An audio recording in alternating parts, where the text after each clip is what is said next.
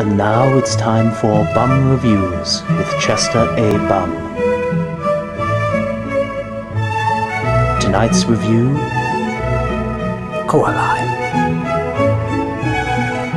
Oh my god, this is the greatest movie I've ever seen in my life! But boy, is it weird!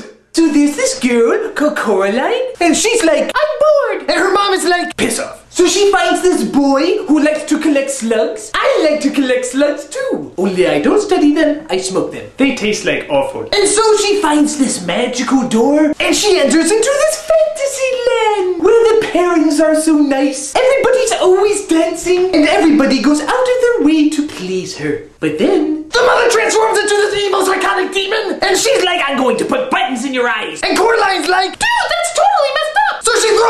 with all these creepy ghosts lying around, and they're like, save us, Coraline, save us! And I'm like, ah! So she exits through the evil little door, and then She's safe. Everything's back to normal and she can just go back to sleep.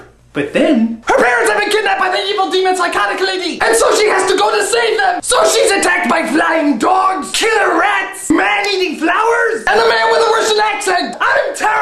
men with Russian accent. Go back to Italy. So she finds her parents in a snow globe. It seems like everything's okay, but things are never okay because the lady turns into a gigantic creepy spider, and Coraline is caught in her web, and the woman's like, ha ha ha, and Coraline is like, oh, oh, oh. So she runs out the door as the Spider Woman is following her, and finally she closes the door and locks the key. whew, now everything is safe, peaceful, and totally under control. But then this little hand comes out and tries to kill her. But then Slug Boy comes out. He rides on his bike, destroys the evil hand, and Coraline will live forever with the nightmarish memories that will haunt her forever.